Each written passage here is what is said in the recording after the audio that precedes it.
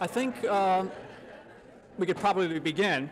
On behalf of the Committee on Lectures, the Psychology Department, Sociology Department, Family Environment, and the Psych Club and the Graduate College who are sponsoring this lecture, it's my pleasure to introduce tonight uh, our guest speaker, Dr. Elaine Hatfield from the University of Wisconsin. Dr. Hatfield received her PhD degree from Stanford University, and before coming to Madison, she has taught at the University of Rochester and the University of Minnesota. And she has been at the University of Wisconsin at Madison for around 10 years. Tonight, Dr. Hatfield is going to talk about some of her research, uh, which comes from a book called A New Look at Love. She is internationally known primarily for her research on equity, which she talked about this afternoon, and also her work on interpersonal attraction. So, without any further introduction, I'd like to introduce a good colleague and good friend, Elaine Hatfield.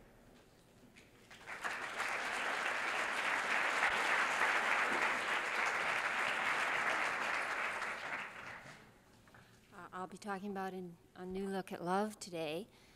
Um, this is the first time I've ever tried to talk about popular applications of social, social psychology, uh, and that's really sort of fun. This is not something that normally I ever would have done.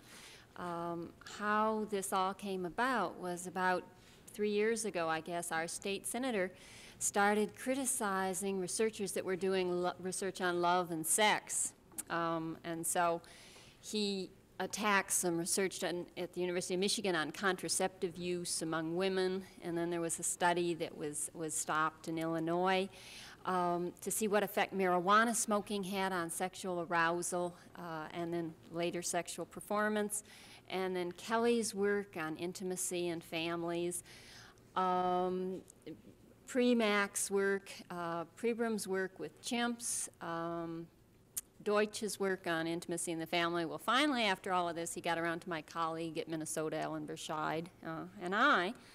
Um, and there was an article that appeared that said, I object to this research not only because no one, not even the National Science Foundation, can argue that falling in love is a science. Not only because I'm sure that even if they spent 84 million or 84 billion, they wouldn't get an answer anyone would believe. I'm also against it because I don't want the answer. I believe that 200 million other Americans want to leave some things in life a mystery. And right on top of the things we don't want to know is why a man falls in love with a woman and vice versa. So, National Science Foundation, get out of the love racket. Leave that to Elizabeth Barrett Browning and Irving Berlin.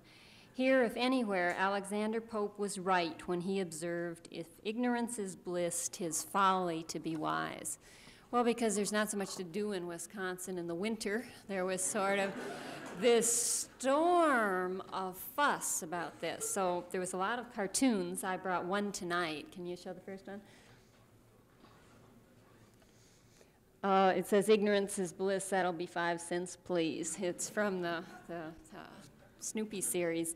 But there were cartoons and there were these awful interviews that appeared in the paper. They'd have caricatures of Proxmire and me, and they would describe my research, and then they would take a vote on should this be done. And they always decided no, it shouldn't be done. I lost every poll 86 to 1. It was just a disaster. Um, and then all the newspapers were around, uh, like Haldeman and Ehrlichman, and I, I would try to explain what social psychology had to say that was relevant uh, to, to the world. And it turns out I just did a terrible job, uh, and that was really hard. Well, I guess it's um, the case. Ed Borgatta once said he got to be a sociologist because on aptitude tests, he scored really high on everything except sociology. And he decided that that was an area where he really needed work, so he went into the area and, and ended up getting his degree. Well, it was so frustrating to be so inarticulate and not to be able to explain well what theoretical social psychologists knew that they could say to people in general that I sort of kept working on this. At the same time, I started to get lots of letters from people and phone calls from people with terrible emotional problems. Uh, he's, Proxmire said he didn't want to know the answer, but clearly these hordes of people did want to know answers. And so I got all these letters from people, and you could sort of sort them into piles as to what their problem was, what their question was. A lot of the time, social psychology had nothing to say, but some of the time, uh, social psychologists did know more than uh, sort of the man in the street. And so that's how this book came about. The, you can show my second slide. I only have three. I'm working on accumulating some. Um, the book came about because what we decided to do uh, is to write down the most common questions we got, whether we could answer them or not, then review all the existing literature in social psychology to say, is there anything relevant on this topic? And then finally, to say, what kind of advice would most social psychologists give based on the information we have available? And so, what we try and do in that is sort of have an encyclopedia of everything we know about love. Well, what I'm going to do tonight is tell you sort of a few of the findings that social psychologists uh, have come up with in the area of love um, and answer some of your, your questions. And then after about a half hour of this, you can just ask any questions about passionate or companionate love, and I'll see if I can retrieve any answers. Okay, let's start first by talking about what is love anyway. Um, it's really interesting to read the literature in that area because literally thousands of people have written definitions of love and they're all confident that they know the answer. Uh, I think the earliest definition of love that I found was Plato's, um, and he had a really marvelous idea. It's sort of wacko in a way, uh, but it's also so male chauvinistic, you'll really love it. Um, he thought that at one time people were joined together and they had two heads, four arms, four legs, and they were a complete person. Um, then the gods got angry at men because they were arrogant and cut them in half. And so these half people wandered the earth evermore looking for their opposite half. And that's, that's why people have the feeling that they're sort of missing without someone else, that it takes someone else to be a complete person. So it was his contention that the best people in the world were homosexuals because they had once been a double man, and that was the best that you could be. And then there were males and females that went around, but those weren't normal, regular, everyday, common heterosexual um, couples.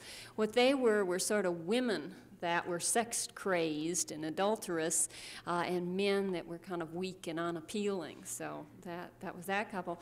Then he had women that were lesbians, but they weren't seen as strong. They were, the, they were sort of the most inferior category. That notion that people are missing without another half is around a lot. It's, it's a common theme in what love is. I was at an erotic art show, and they had several figures that were these kind of interlocking people. I got the most wholesome one for you. Can we have our last slide? Uh, uh, okay, that's a man and a woman. This erotic art show has every combination you can imagine dogs and cats and little kids and eight women and 12 men and just every permutation. But really, the theme is the Platonic kind of notion of people making up a complete whole together.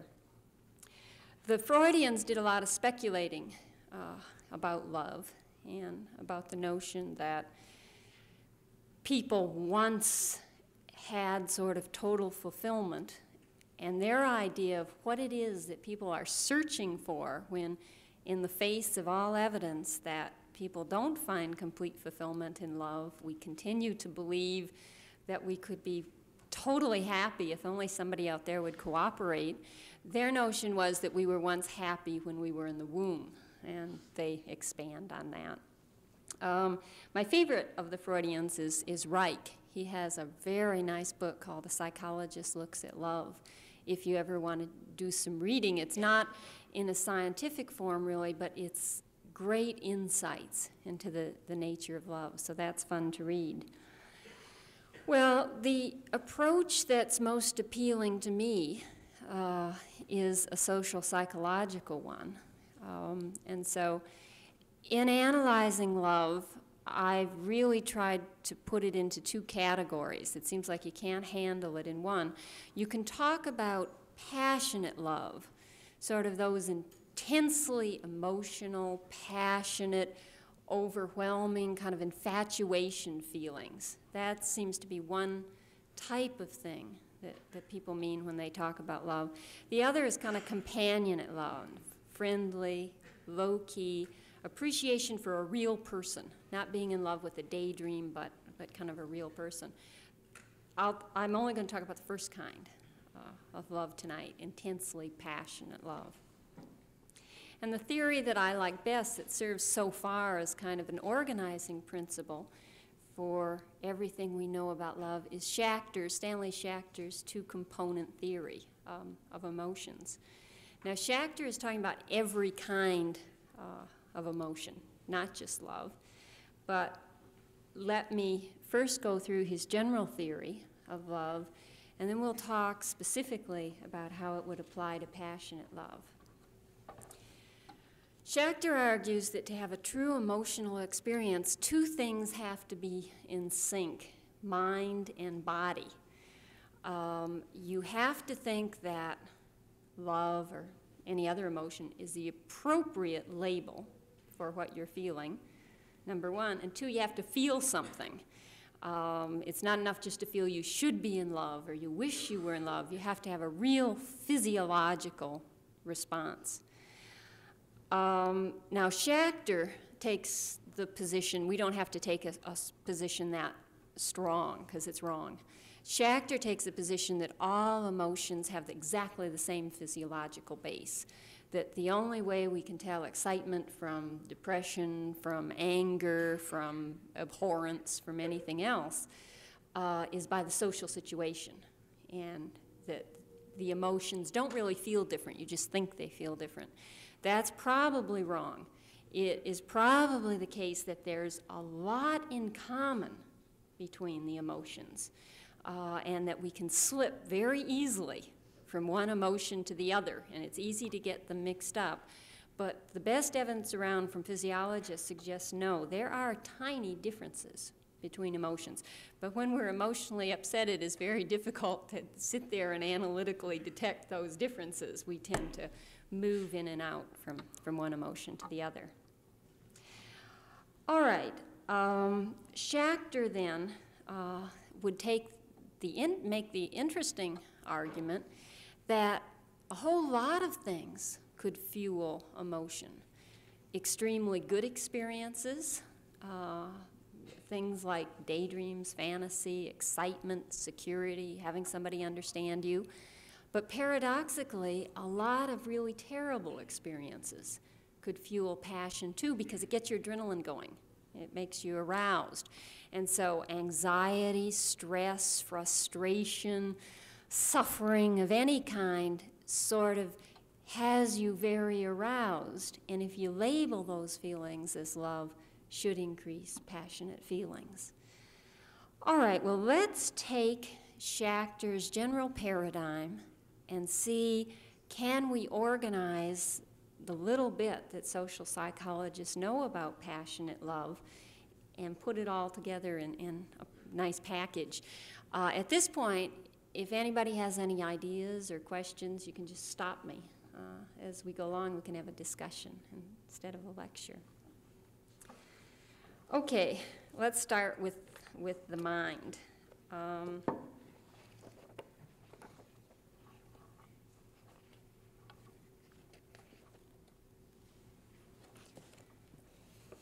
the first thing that, that we want to know then is it becomes really important if you think that your expectations about what you should be feeling affect what you do feel, it really becomes important to know what does this culture teach us about what love feels like.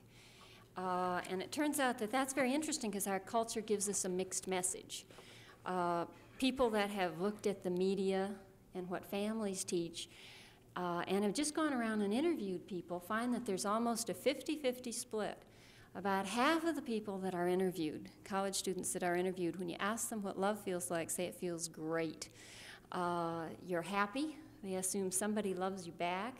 It's fun, uh, excitement, and it's fulfilled love.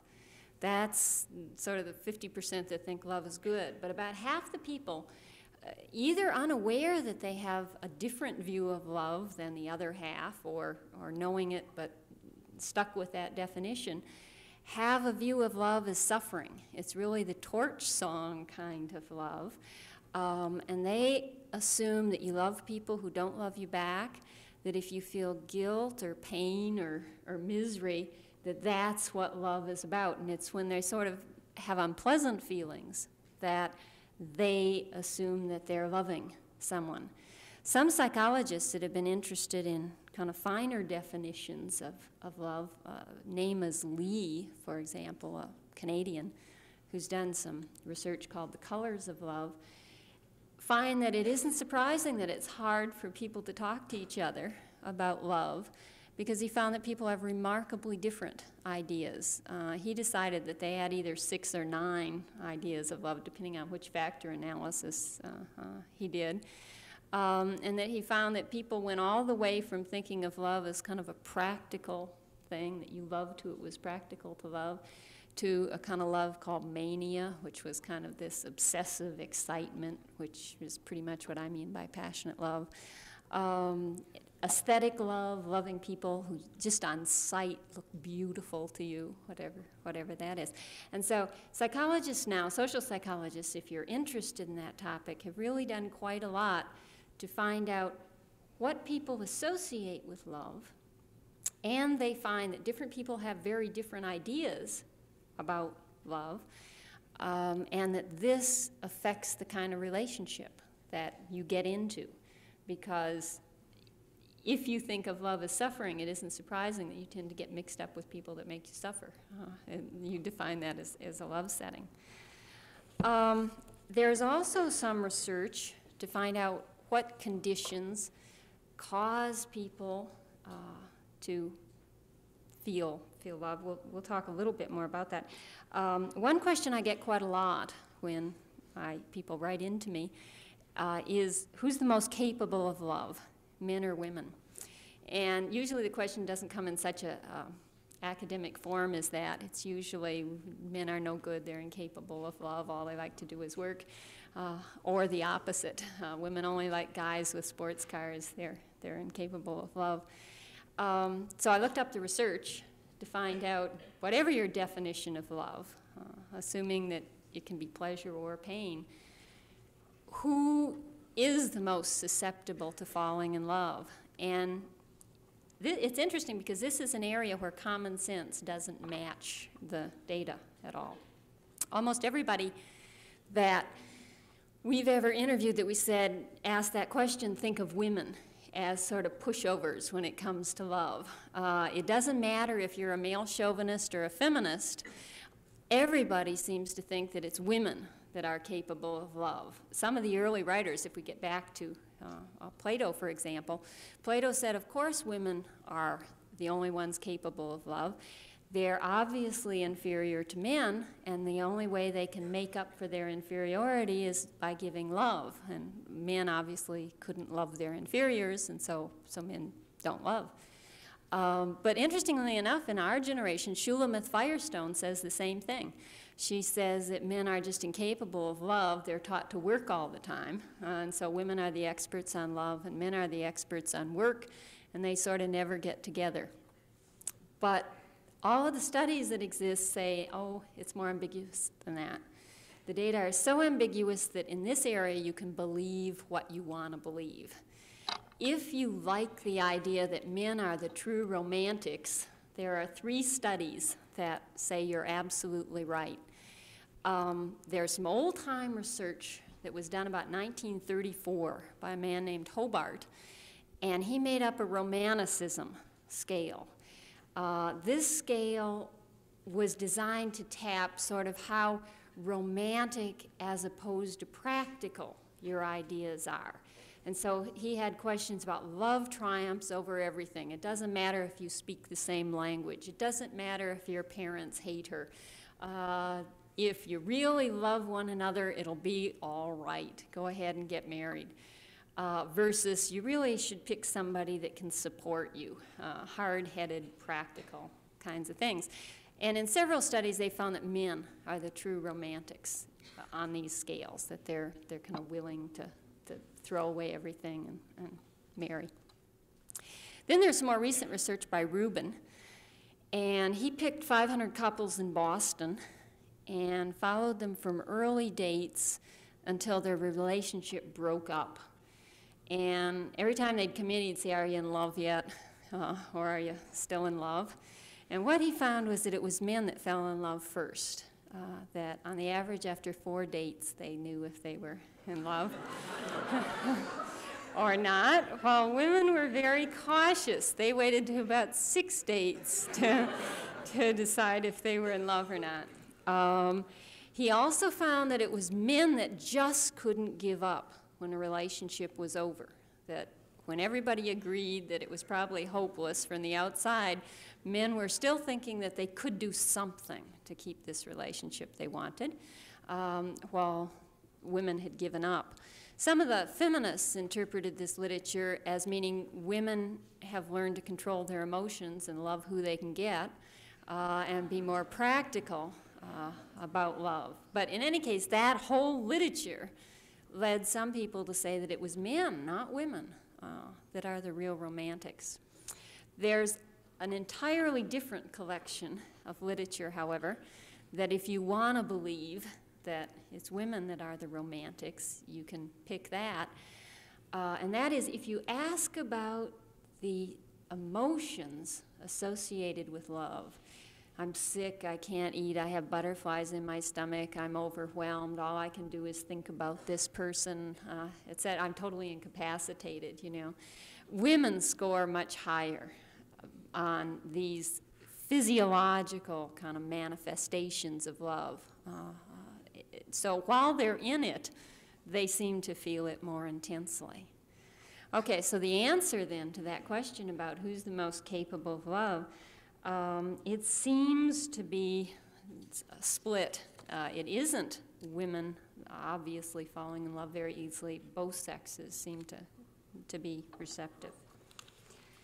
Um, that's a sampling then of the kind of research you'd do if you were a Schachterian interested in what are the things associated with mind that influence receptivity to love. Let me take the other half now, body, uh, and say, now if you're a Schachterian, what kind of research would you do to say, what are those bodily elements that predispose us to love? What are the things that really stir us up and make us susceptible to to falling in love. Any questions or observation about all the mind research that, that I've mentioned? Or? Okay, let's talk about the physiological things that, that are exciting. Then I'll give you a sampling of that research, and then, then you can ask some questions. Let's take all the delightful experiences first. Um, to most of us, that makes the most sense. It seems reasonable from any perspective you use that somebody that makes you extremely happy ought to be somebody that you love. Um, there's been a lot of feeling, though, that that kind of wildly passionate love that is so much fun is a fantasy. It's based on a daydream of perfection. Sylvia Plath, for example, found that she could only fall in love with fantasy men. She said as soon as she really met them, they weren't at all what she had in mind. Uh, and so she'd keep falling in love with somebody, and then they'd come and ask her out, and she'd say, Gee, I thought he was taller or cuter or something, uh, and find she wasn't interested at, at all. Um, well, there is some interesting material that social psychologists have done about love, the fantasy, and I'll tell you three studies. The first was one run by Ellen Berscheid uh, at the University of Minnesota and Walter Stephan, What they wanted to say is that acute deprivation fuels fantasy. Um, and so, if you're really sexually deprived, uh, it's very easy to believe that you're going to meet somebody just great pretty soon. What they did uh, in this experiment was invite college men in to meet a computer date. They were supposed to go out that night. And half the time when the men arrived and they all sat in a waiting room, half of the time they had really boring magazines there uh, um, about seagulls and other birds. Half the time the waiting room was just littered with these really erotic magazines. Uh, Playboy, Viva, um, nudie magazines, et cetera, et cetera. Uh, and what they did then was they came in and they said, the computer has matched you with this girl. Well, it was their prediction that if you were really sexually aroused uh, and deprived when you met this fantasy girl, that you'd distort reality in two ways that your sort of enthusiasm would give her some sparkle that she didn't really have, and you'd decide two things. One, she was very attractive, much cuter than normally you would think. And secondly, she was much more available than normally you would think. She was a little promiscuous and sexy, etc. That's what she indeed got. If you were looking at books on the seagull, you thought she was kind of good looking when you met this, this stimulus person. Um, and you thought she was a regular, normal, fairly straight girl. If, however, you were very sexually aroused, uh, you thought she was quite good looking and quite promiscuous. What I love about this study is it has a morality of another era. There was also a question about how often you expected to see her. And in this condition where men distorted and said she's beautiful and very sexually promiscuous, they also said they'd only date her once because they didn't like girls that weren't nice.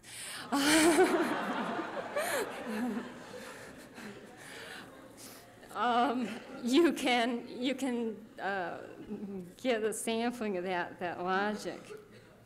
Some people have asked then, uh, since love is so much a fantasy, another question I get asked quite often is about sexual fantasies uh, and what kinds of things are specifically love fantasies or sex fantasies that might affect the kind of person we wanted or, or thought about. It's interesting because this, the things I would have told you three years ago are different than what I'll tell you this year. And we have no way of knowing if that's because women have changed or because technology has changed and, and that's a very interesting thing. It used to be the case when people said, do men and women, are they equally turned on by sexual fantasies, and do they have the same fantasies, that you would say no. Kinsey, if you read the original Kinsey report on sexuality in women, he spends a lot of pages explaining why women don't get turned on by pornography uh, and sexy, sexy movies, uh, written materials, hardly ever see it, don't get turned on when they do. Um, Kinsey explained that he thinks it's neural. He said there are two possibilities, but one, he just thinks men and women's brains are different. And he gives a lot of pages explaining what is different, precisely the mechanisms in the brain that account for women's lack of receptivity to pornography. The other um, kind of explanation for why this was was that men are aware of their penises from the time they're little kids. Men start having erections about an hour after they're born, we know, and they can feel that. It brushes against their clothes, and they learn to associate sexual arousal with a whole variety of, of stimuli. Women lubricate a couple hours after they're born also, but most women are unaware of when they're lubricating. Uh, it, it isn't something as noticeable as an erection. So a second explanation the old-time guys used to give for why women can't respond to pornography is they're just not aware of what their bodies are doing. Well, it wasn't really possible to do much, you see, about research into pornography. At the time, all these announcements were being made, so we don't have very good data about women in the 50s.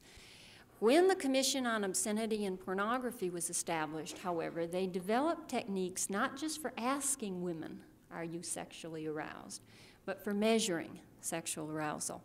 They developed the plethysmograph, which on men you put around the penis, and when they have an erection, you measure it. Women, it's like a little Tampax that you wear, and it reflects light. And when women are aroused, you know it. So, in all the re- recent research, what they've done when showing men and women erotic films is ask them, Are you aroused? What they find is a tiny mean difference between the sexes, not at all like you used to get. In the 50s, there was a whopping difference, okay, between the sexes. Now you get a small difference between the sexes, with men saying, I'm more aroused. Then you look at the physiological indicators, nothing. Both are registering arousal. What's happening is very interesting. Women are labeling their arousal in one of three ways. Men tend to say, mostly I'm aroused, a few say I'm repulsed. Women are sort of equally split between what I'm feeling is sexual arousal, what I'm feeling is intense anxiety, and I am sexually repulsed. And so they're labeling it in quite different ways, but their bodies are doing something. Okay, so recent conclusions now are that the, both sexes can be aroused by pornography, and the differences that we get are content in the films or willingness of women to report arousal. So that's a kind of kind of research um, that people interested in the types of fantasy are doing. There's one last study on sexual arousal that I'll tell you because uh, I guess I sort of am interested in the, the evolution and the interpretation. Um, for women interested in the women's movement, there's one kind of sexual fantasy that they'd rather people not talk about. Um, and that is that when you ask men, what kinds of sexual fantasies do you have, like when you're masturbating or sexually aroused or something, often they talk about fantasies uh, in which they are the dominant person um, generating activity, but they are also being persuaded to do it. The, uh, you've seen those movies, Eight College Co-eds Begged Me Please, okay? I mean, that's sort of the essence of what I'm trying to get at, that this, this man is just uh, propositioned by all the, these ladies. The counterpart sort of that that females have is a lot of females have fantasies about rape and that is very embarrassing both personally and ideologically to them because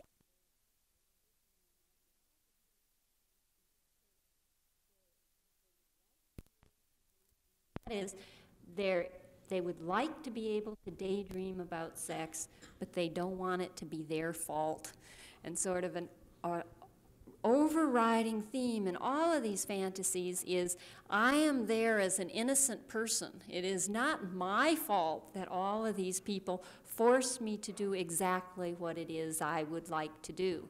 So that the rapes are never women suffering, it is women being sort of driven crazy by this altruistic rapist who does everything that they would sort of like, and the same for men. Uh, so it's interesting that once again the themes of sexuality seem to be more common now than they were thought to be in the past. Okay, lots of research then that fantasies, fun, excitement, uh, security, somebody understanding you, that that can fuel love. I'll finish up the last few minutes now talking about the darker side of love, and that is there's lots of evidence that it isn't just pathological, masochistic people that sometimes get love mixed up with suffering. It's the case that really negative experiences can be interpreted by almost anyone um, as love, and that the two are quite mixed. The reason seems to be, once again, the physiological arousal is so similar in anxiety, frustration, loneliness, that a lot of people can associate that with the longing for love or the loss of love, as well as these other experiences. Let me give you a couple of, of examples. And this is the best documented area, I think. There's lots of evidence that anxiety and fear sort of set a person up um, for love. Some of the best studies uh, are recent ones that ha- are parallel laboratory studies and field studies. So regardless of which kind you like the best, there's, there's evidence from both areas. There's evidence, for example, that if you go into an experiment and they say this experiment has to do with electric shock, and that either you're in a control condition where, thank God, you were never going to get shocked, or else they say you are going to be shocked just short of death, or they say you are going to be shocked short of death, and then they say, oh, whoops, that's a head, isn't it? Yeah, you're not going to be shocked. That's right. You're so that's sort of a relief group. You know, they got scared and then relieved. Um, they find that somebody who meets a woman under scary or relief circumstances is finds her a lot more sexually appealing than somebody that meets her under normal circumstances. This is sort of like the observation that in war, people are just so receptive to, to love, that sex is mixed up with, with anxiety. There's all sorts of research from the animal literature. Beach has sent me a drawer full of studies uh, about rats, sometimes becoming more sexually responsive with just the right mixture of anxiety. Too much, everybody stops all action, but just a little bit sometimes fuels passionate feelings.